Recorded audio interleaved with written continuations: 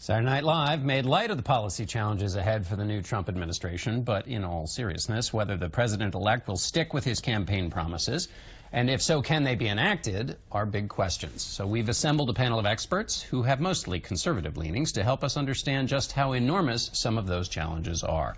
Lanhee Chen served as policy director for Mitt Romney's presidential campaign. He is also a CNN political commentator and a fellow at the Hoover Institution at Stanford University. Grover Norquist is president of the conservative group Americans for Tax Reform. Maya MacGuineas is president of the Nonpartisan Committee for a Responsible Federal Budget. And David Frum is a senior editor at The Atlantic and a former speechwriter for George W. Bush. David, I want to start with you on this question of um, conflicts, potential conflicts, yeah. relationship between Donald Trump, the president, and, and the Trump businesses. What do you make of their initial responses about how that will be handled? Not good. I think the first order of business, the very first order of business for Republicans who want to ensure a successful administration is to corruption-proof the administration. It's going to be a big problem. And the surest way to do that is to pass a law formalizing the long tradition that the president must publish his tax returns. Um, it may or may not be possible. The president may or may not be willing to divest himself. But the way for the public to be protected is for people to know what the president has, whether he receives any benefit. Because of the particular nature of Donald Trump's businesses, everything that happens at the Trump organization flows into his tax return. So if we can see the tax return, we can know, is anyone trying to bribe him? Has anyone succeeded? Grover, the Donald Trump campaigned on he campaigned on getting rid of the self-dealing in Washington. Uh, it was not a small issue. So when Mike Pence was kind of vague, he said, trust me, it'll all get worked out. Uh, wouldn't you expect kind of brighter lines from a candidate who spends so much time talking about changing Washington? Yeah, and look, you want to change all of Washington. The focus on Trump is, is interesting, uh, but there's a House, there's a Senate, there are governors, there's an entire bureaucracy. We need to reduce the amount of money the federal government spends. If you don't want people stealing some of it, the best way to do that is to have less of it spent. Uh, very important that the Republicans maintain their ban on earmarks. That earmarks have been the currency of corruption in Washington, D.C. for years and years and years. The Republicans ended that. Some people want to bring it back. We should make sure, one, we stop that, and two, instead of having money for roads come to Washington, D.C., where we then send it back out with a series of regulations and uh, strings on it, including the Davis-Bacon Act, which is a racist act passed in the 1930s to keep African Americans from competing in those jobs. It should be repealed simply because it's racist. But it also raises the cost of building anything in the United States that the federal government touches by 25 to 33 percent. We should, one, get rid of the Davis-Bacon Act. West Virginia just got rid of their version of the Davis-Bacon Act. Wisconsin did. Yeah. A number of states abo abolished that. We should at the federal level, and we should let states raise their own money and build their own roads.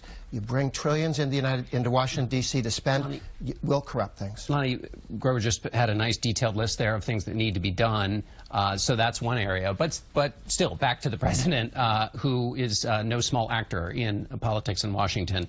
What could he do? What, what other than what David suggested, which is publishing those tax returns, what else might you expect from a president who ran uh, so forcefully on the idea of changing the way Washington works in terms of his own relationships? Well, I think certainly he should hold himself to a higher standard.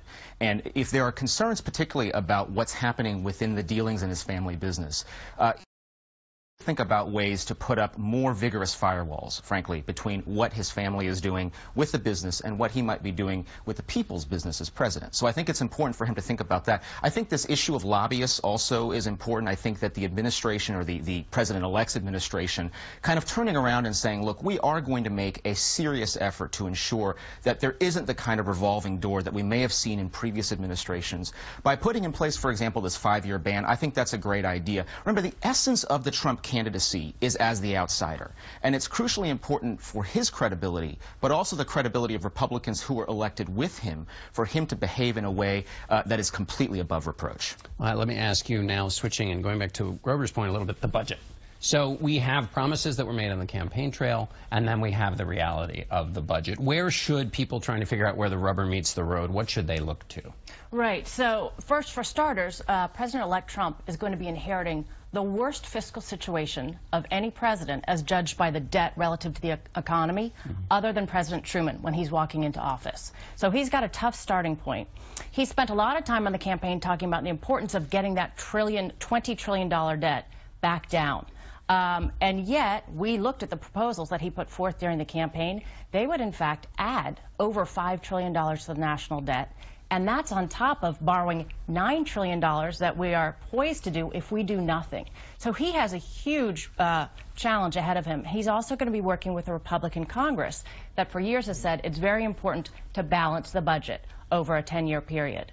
The question is, now that they have the House, the Senate, and the White House, are they suddenly going to pull back from those fiscal goals because he has these unpaid for tax cuts, infrastructure spending, increases in defense, a lot of things that would actually balloon the debt, or are they going to hold to those fiscal goals, which are very important for both getting the debt under control and actually helping to grow the economy, which is the other major. And I think the flip side of that also is Donald Trump during the campaign did not say very much about Medicare or Social Security. Mm -hmm. Now mm-hmm. remember, the three biggest drivers of federal deficit and debt going forward are health care spending, Social Security, and net interest on the debt.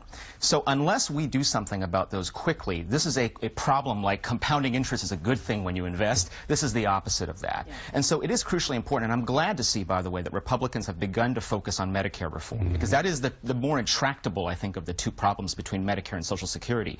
But it's also important for him, I think, to revisit what he said during the campaign, which is that he didn't want to touch Social Security. Right. I think it's important that we look at things like the retirement age and, and also